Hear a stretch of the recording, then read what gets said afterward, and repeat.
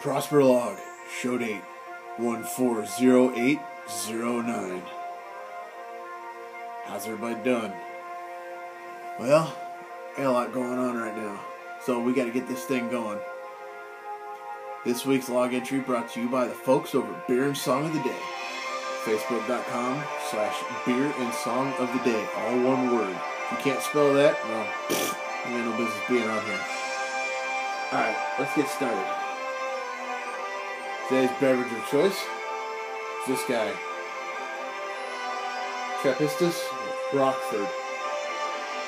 Belgian beer, 11.3%.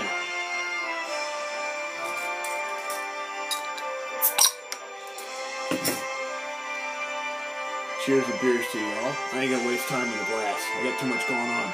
Cheers and beers. Or as the Klingons might say, Qapla'.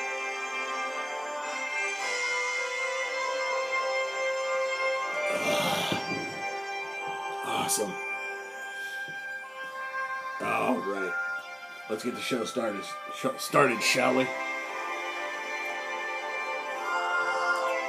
First birthday for the week, Helena Swiderski. I worked with your husband in Germany. Lena, congratu- congratulations on baby pie. Happy birthday.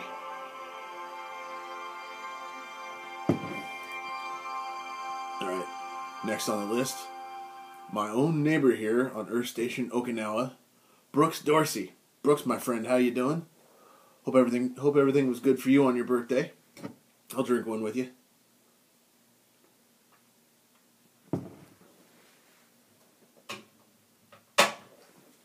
All right. Excuse me. Next on the list, this is a guy I have yet to meet in person, but he is he actually lives up on mainland Japan. Jesse the Body Rubens. What I know of him, he is like me, fellow Colts fan. Jesse, my friend, hope your birthday was good. Cheers. All right. Next on the list. This young lady I went to high school with, Tara Ramey. Tara, how you doing? I hope everything's going good for you. I just saw recently that you and your husband David are celebrating 10 years of marriage. I give that the prosper salute. Cheers.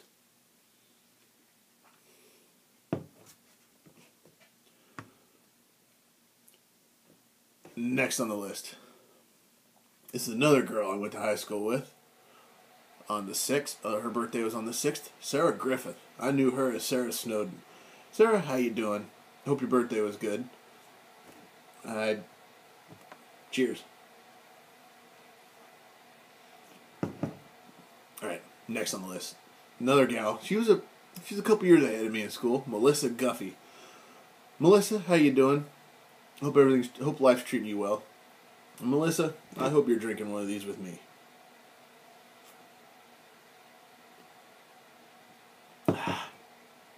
Next on the list. This is a guy I knew in England. Good old Lorin Ladson. Lorin, how you doing, boss? Hope life's treating you well. I understand you're at Bible camp right now. Hopefully, you're discovering some of this stuff. Cheers to you.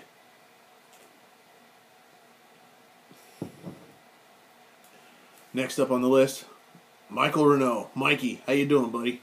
Haven't seen you in a while. Hope life's treating you well. Mikey, cheers and beers to you, my friend. Now, Mike and I went to high school together, graduated together. We basically grew up together. This guy's all right. Mike, cheers. Last but not least, excuse me, my uncle on my stepdad's side, Max Riggs. Uncle Max, how you doing? I saw recently where uh, saw recently where Erin got married. Congratulations to her. Congratulations to you. Cheers and beers. All right, some extra shot, some extra greetings. Now this guy, this guy has a, this guy has a web series, a, a Star Trek based web series. His name's John Broughton. He plays Captain Jack Carter of the Starship Farragut. And they just recently put out a new episode called Conspiracy of Innocence.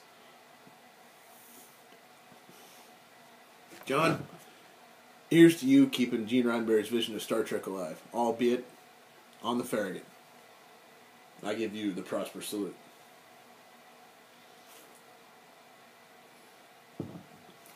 All right. Shout outs are done. Let's move on to notable Trek birthdays.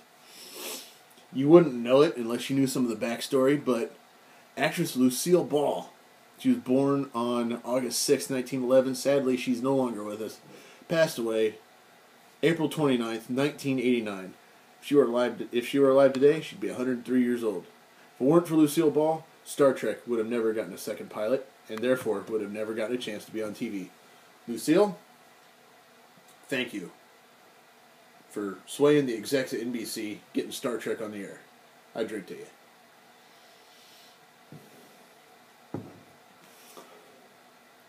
August 7th, child actor Cirroc Lofton. He played Jake Sisko, the son of Commander slash Captain Benjamin Sisko of Deep Space Nine. He is 36.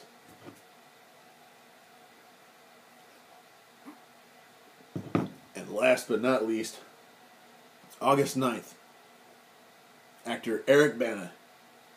He played the Romulan Nero, the one that created that god awful J.J. Abrams verse Star Trek movie series. He's 46. He's a good actor, but whew, I don't know. Cheers to y'all. All right, I gotta get going. I got, I gotta get going.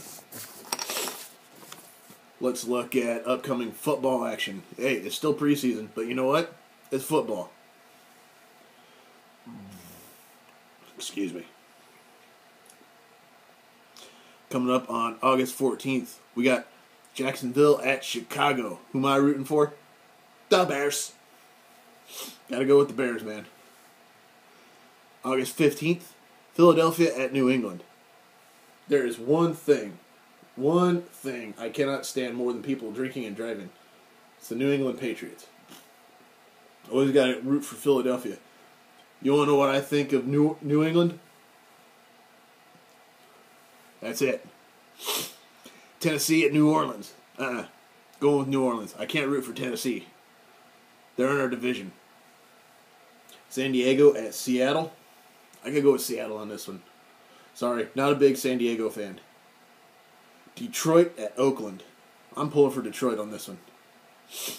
And on the 16th, looking at Green Bay at St. Louis, going with the Packers. New York Giants at Indianapolis. Now, y'all know how. I, in case for some of you that, for those of you that don't know how I feel, I'm I'm a Manning fan, and there's only two times I'm gonna root against Eli Manning. When he's playing his brother Peyton, and when he's playing my Colts. I will never, ever root against the Colts. Never. New York Jets at Cincinnati. Pfft. No way I'm rooting for the Jets. Cincinnati all the way. Baltimore at Dallas. This one was tough. Even though I know they're going to choke, I'm rooting for Dallas. Buffalo at Pittsburgh. I got to go with Buffalo on that one. Miami at Tampa Bay. I am not rooting for Tampa Bay. They they're another team in our division. Miami is. Atlanta at Houston. Same thing. Going with Atlanta. And Arizona at Minnesota. Got to go with the Cards. Sorry, they may they may have taken our offensive coordinator, but you know what? I don't care. I'm still rooting for Arizona. Now, let's get to the big part of the show. What what Prosper is all about. This week's Star Trek episode, The Enemy Within. The Enterprise is on a survey mission of planet Alpha 177. Crewman gets injured, transports aboard the ship. What they don't know is that when he transported aboard the ship, the transporter was damaged. And, but they didn't discover it till after Captain Kirk had beamed aboard and was duplicated. Basically, it's a cat and mouse game between good Kirk and evil Kirk. We also learned that Spock has a has a half human side, as if we didn't know it already. Basically, the, the main plot Kirk versus Kirk. But what makes it what makes this show interesting is that it had a B story. The B story of the landing party trapped on the planet, facing death. At the end of the episode, Captain Kirk is reunited with his, the good Kirk is reunited with evil Kirk. The landing party is saved. That was Kirk. He could have gotten away with it too if he'd just been smarter about it. All right, let's go behind the scenes. Grace Lee Whitney recounts that while shooting the scene when a distraught, tearful Janice Rand accuses Captain Kirk of trying to rape her, William Shatner slapped her across the face to get her to register the proper emotion. As they shot the rape scene days earlier, Whitney couldn't get into the same emotion successfully, and it was Shatner's solution to the problem. Hey, if it worked, this is what I gotta say to it. Good on you for thinking about it, but for slapping a woman, that's it. Writer Richard Matheson's main influence on writing this episode was Dr. Jekyll and Mr. Hyde, as he envisioned Robert Louis Stevenson's classic story in a science fiction context. He eventually came up with the idea of the transporter causing a man to be split into two halves. Good idea. It worked.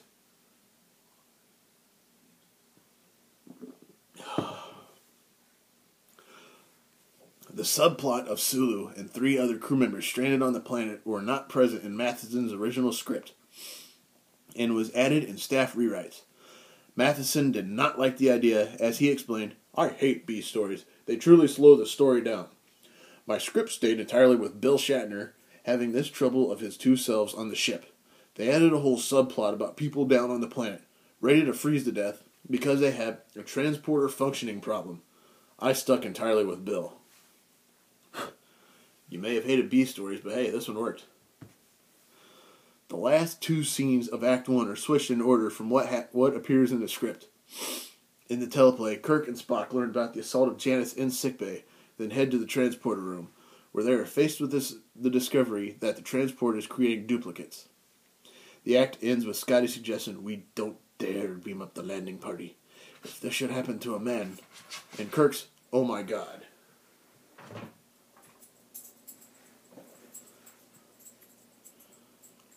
In the episode itself, the sickbay scene follows the one in the transporter room, and the act ends with Spock declaring, There's only one conclusion. We have an imposter aboard. Director Leo Penn was known to reorganize scenes when he deemed them to be more dramatic in a different order from what was scripted. It worked. Oh, empties the brain cells of the average Patriots fan. Always come prepared.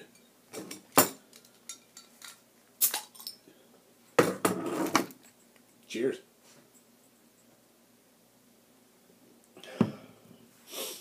In the teaser, as Kirk and Sulu discuss the impending temperature drop, an, obs- an offstage voice, ostensibly the director's, can be heard yelling, Noise! as the sound effect of falling rocks starts on the soundtrack. This is the cue Shatner and Takei to react to the sound of technician Fisher falling from the rock face off screen.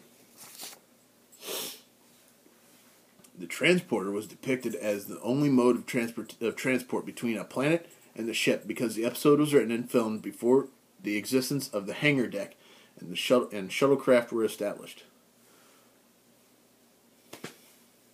You'd figure a big ship like the Enterprise would have shuttles. No.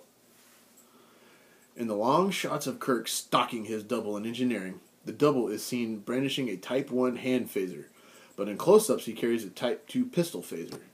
Really? Come on, get it straight, stupid.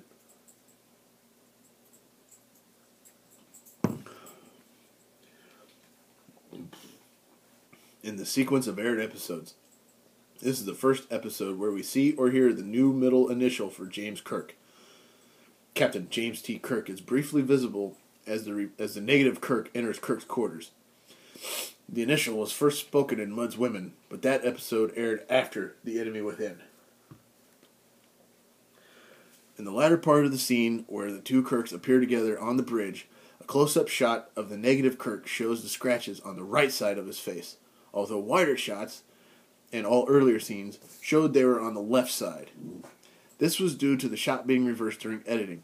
Director director Leo Penn and cameraman Jerry Finnerman mistakenly filmed the close up out of axis, breaking the 180 degree rule, and editor Fabien Tordjmann could only help by reversing it, hoping the audience wouldn't notice the resulting continuity error. We caught it.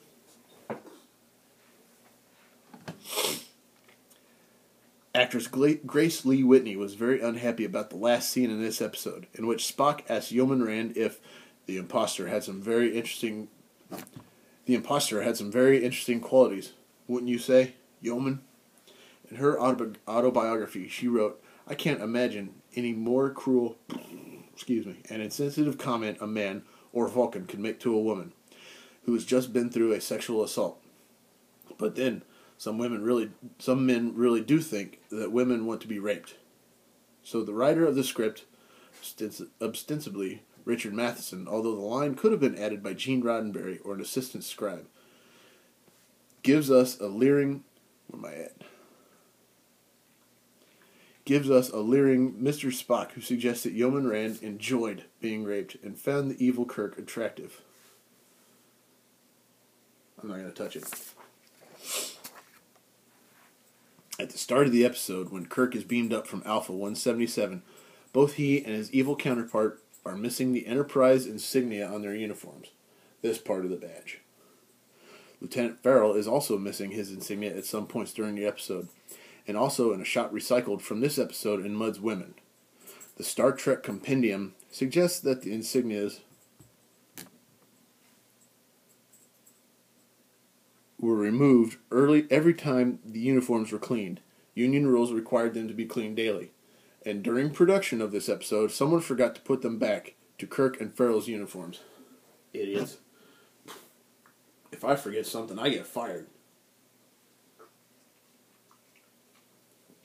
Or worse, I go to jail. This episode introduced the first season version of the Captain, Captain's Wraparound Tunic. It reappears in Charlie X and Court Martial, and in Kirk's briefcase in This Side of Paradise. It was originally made with the purpose of differentiating Kirk from his double in this episode. Actress, although Nichelle Nichols does not appear in this episode, her voice is heard on the intercom in several scenes.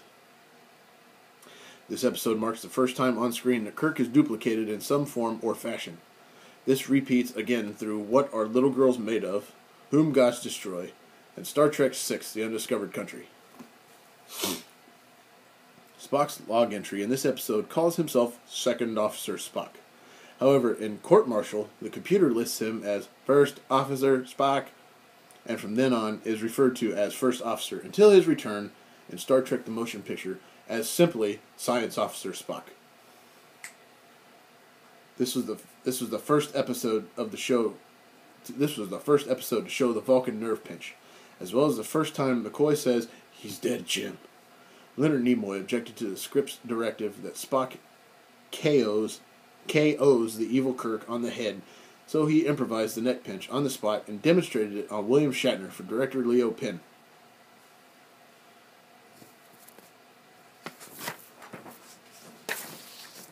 In this episode, we get to follow Kirk behind the large engine room machinery components in the first trip to the engineering deck which dialogue identifies as being in the lowest parts of the ship.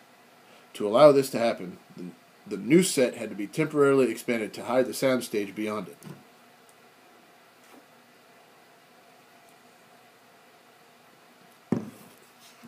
After the double is rendered unconscious by the first neck pinch in the series, the quickly assembled wall behind the three characters can be observed to have a very rough edge where it meets the floor pieces of sets that were designed to be added and subtracted easily were called wild. Although Kirk pursues Ben Finney into these components in Court Martial, this is the only time we get to see the space behind them.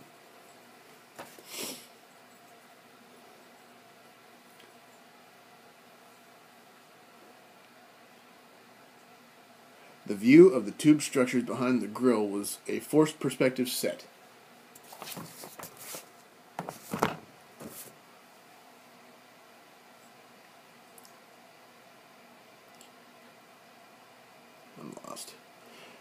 Tube machinery appears to be many dozens of meters long. but this is an illusion created by making each vertical pipe much smaller than the one in front of it.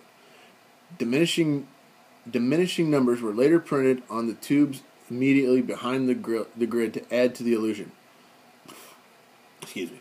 In episodes where the engines were under stress, lighting effects were used inside the tube machinery room. The set was extensively remodeled between the first and second seasons. A shot showing two extras, Frank Da Vinci and Ron Vito, in red technicians' jumpsuits, and Vito holding the aforementioned cutie pie prop in the engineering set was filmed but cut from the episode.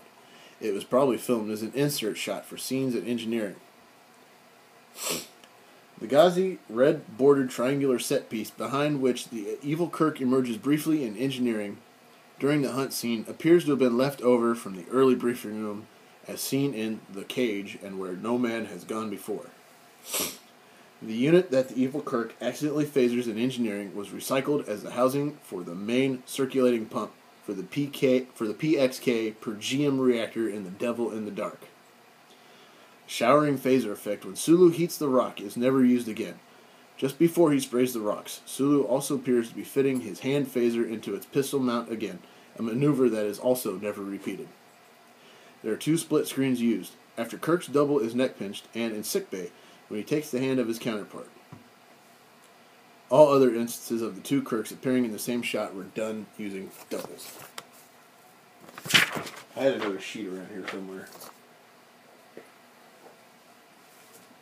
Where is it? Where is it?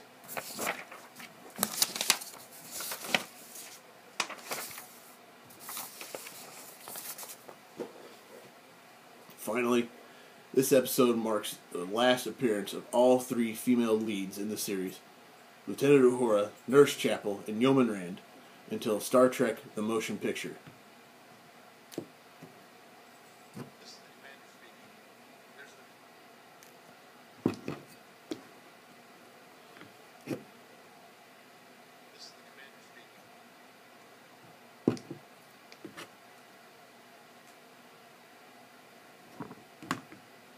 There's an imposter aboard the station. What? A man who looks just like me and is pretending to be me. This man is dangerous. Caution is to be observed. All personnel are to arm themselves. Better hurry up and The imposter may be identified by scratches on his face. Repeat. The imposter may be identified by scratches on his face. Section chief Shit. assign personnel to the search. Told you I didn't have much time. All search parties report to Lieutenant Commander Love Doctor. Damn it. Excuse me. All phasers to be set to stun. The imposter is not to be injured. Use minimum force. Repeat, the imposter is not to be injured. Commander out. Excuse me. Oh. Told y'all I didn't have much time. I gotta get out of here. Um, don't drink and drive. Don't root for the Patriots. Live long and prosper.